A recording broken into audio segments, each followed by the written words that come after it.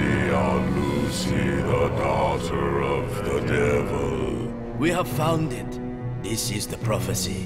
When we translate this text, we will know the identity of the Antichrist.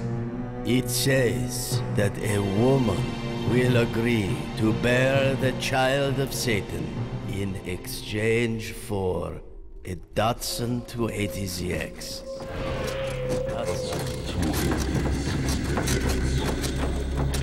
Hooves, hooves, Sorry, hooves. sorry.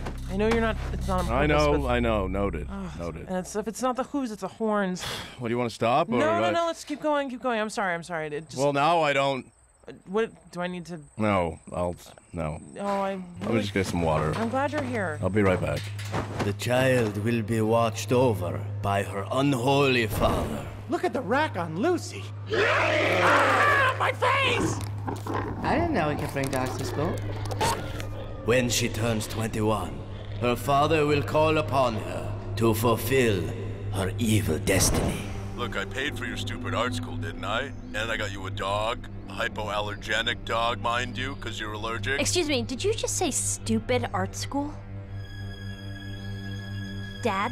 no. Yes, you did. Art is not stupid, Lucy. I gotta go.